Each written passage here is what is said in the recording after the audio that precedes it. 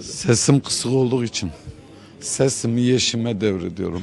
Çünkü bu ülkede bütün hak ihlallerinde, özgürlük mücadelesinde, insan haklarında Yeşim daima hepimizin yüz akı, hepimizi harekete geçiren e, insan modelleri vardır ya öyle. Hepimizin vicdanı.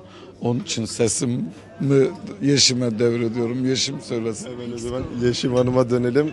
Ee, biraz önce de konuştuk. Riskli bir iş Türkiye gibi yerde siyasi işlere bir oyuncunun girmesi. Özellikle 80'den sonra. Şimdi siz bloğu desteklediğinizde deklare ediyorsunuz basına. Neden e, böyle bir şey yapıyorsunuz? Neden destekliyorsunuz bloğu? Ee, çünkü bu bloğun sömürüye, ırkçılığa, cinsiyet ayrımcılığına e, karşı durduğunu inanıyorum. Ve e, böyle bir inancım ve fikrim varken e, bunu söylemekten başka bir yolumun olmadığını düşünüyorum insani olarak.